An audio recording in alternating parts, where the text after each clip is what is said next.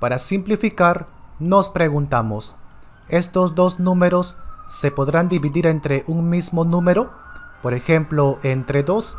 Sí, ¿verdad? Porque terminan en cifra par. Así nos damos cuenta. Arriba 6 entre 2 es 3 y abajo 68 entre 2 es 34. Listo, ahora ya no se pueden seguir entre 2, ¿verdad? 3 por ejemplo ya no se puede.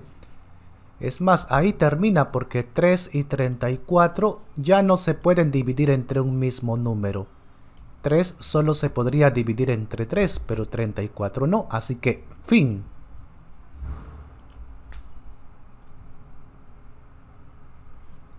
Ya.